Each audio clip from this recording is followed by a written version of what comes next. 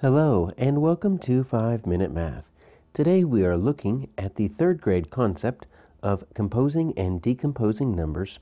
This is standard 3.2a in the great state of Texas, and we are using item number 24 of the 2022 released STAAR test. If you haven't done so already, please go ahead and take a moment to pause the video, work this problem out on your own, unpause it, and we will look at our answers together.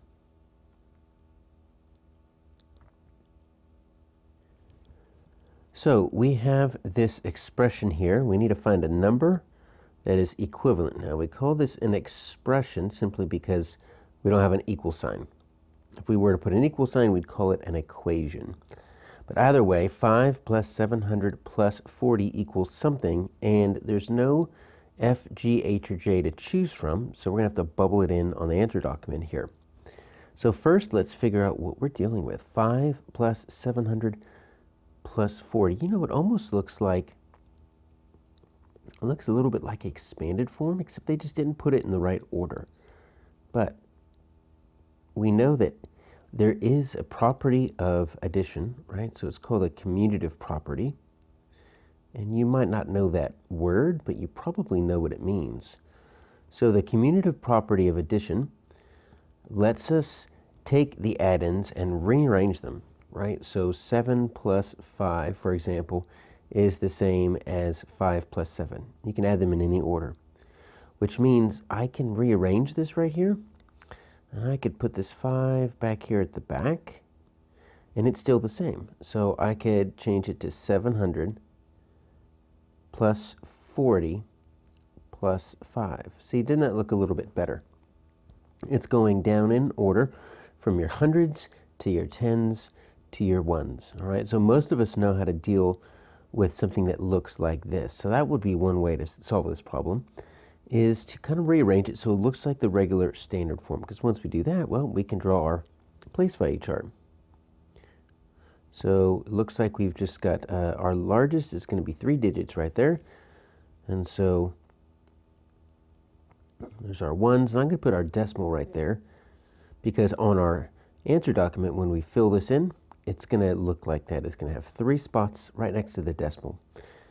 We don't really worry about numbers smaller to the right to the, of the decimal in third grade a whole lot, unless we're really dealing with money. Ones, it's going to be that first place. And then there's the tens place. And then there's the hundreds place. All right, so let's look to see what we have. So you can either go from right to left or from left to right. But we've got five ones. And then we've got 40. All right, so this 40, and if you see, it's got two places right there.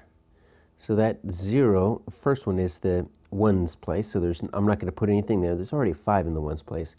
But I can put a four in this tens place right here. And then I've got a 700, so there's my ones place, there's a zero. Tens place, there's a zero. Hundreds place, there's my seven. Okay, so 745 is what it looks like. If you wanted to, this is an addition problem. As long as you line it up correctly, you could also have done this. Done vertical addition. 700. Like I said, we have to line everything up on the right. Plus 40 plus 5, look at that. 0 plus 0 plus 5, 0 plus 4, and then 7 in all those blanks. All right, so either way we look at it, this expression is equal to 745. But, like I said, there's no F, G, H, or J to choose from. All right, so we're going to go to our answer document. We're going to see we've got a little tiny column there that's got the decimal. That, there's no bubbles. We can't do anything with that. So our answer document is only going to have three columns that we can actually bubble in. So we need to make sure that we've bubbled in 745. Write that across the top, and then you need to find the correct digits underneath, the 7, the 4, and the 5. And then make sure you bubble them in completely. Don't leave any blanks. Do not color outside of the circle. And that is your answer.